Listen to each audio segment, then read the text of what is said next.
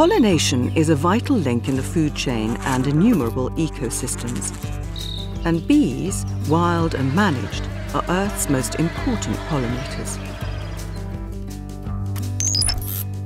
Monitoring programs indicate unusual rates of bee losses all over the world, but particularly in Europe and North America, threatening both food security and biodiversity.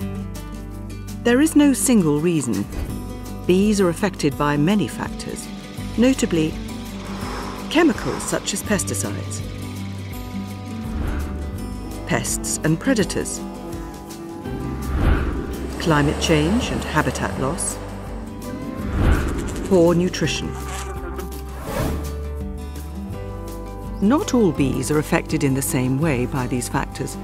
For example, domestic bees used for crop pollination and honey production are likely to be more affected by farming and beekeeping management practices, while wild bees may be more vulnerable to climate and habitat changes.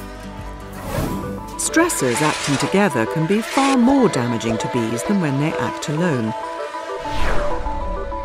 which is why EFSA is running a project to develop a holistic approach to the risk assessment of multiple stressors in bees MUST-B, starting with honeybees.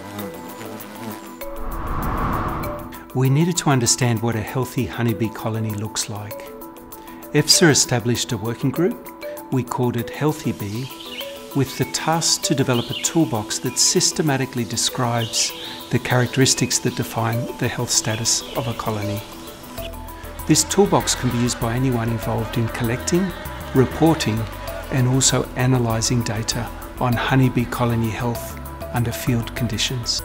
The toolbox considers what is going on outside the colony, colony habitat and land management, weather conditions, beekeeping management practices, predators, including new invasive species such as the small hive beetle and Vespa velutina, or the Asian hornet. What is going on inside the colony? Is the queen present and healthy? Are there sufficient worker bees and are they carrying out their tasks effectively? Is there enough food, particularly honey and bee bread? Are there signs of disease, infection, and infestation? Are there signs of contamination of in-hive products, wax, bee bread, nectar? Is the colony productive? Is there honey for harvesting, propolis and so on? Each element can be assessed against a set of criteria to establish the health status of the colony. Next, we set out to design a computer model to help assess the risks posed to bees by stresses particularly pesticides and infectious agents like Varroa nosema acting in combination with the environment. The model consists of a number of interconnected modules that reflect the elements of the toolbox, such as the condition of the colony and presence of in-hive products, such as nectar, honey, pollen and bee bread. The foraging activity of the honeybees. Land structure and management, weather conditions. On top of these base modules are additional modules that address exposure to and effects of pesticides, beekeeping practices, and biological agents such as the varroa mite and associated viruses, and nosema. The model could be expanded in the future to take account of exposure to multiple chemicals and other biological agents such as invasive species. To test the computer model, we will need real data collected from at least three European regulatory zones, representing different landscapes and environments.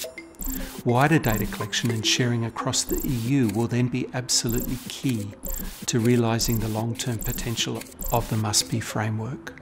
We can envisage a future where beekeepers examine their colonies using the criteria from the toolbox, upload the information to an open access database serving multiple stakeholders, and risk assessors and managers use the predictive model determine the risks to honeybees from exposure to pesticides in combination with infectious agents, beekeeping practices, landscape and weather.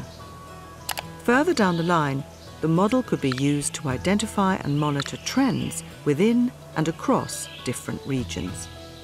None of this will be possible without the commitment and cooperation of EU and national institutions, beekeepers, farmers, researchers, animal health specialists, NGOs and industry experts. It requires a true European bee partnership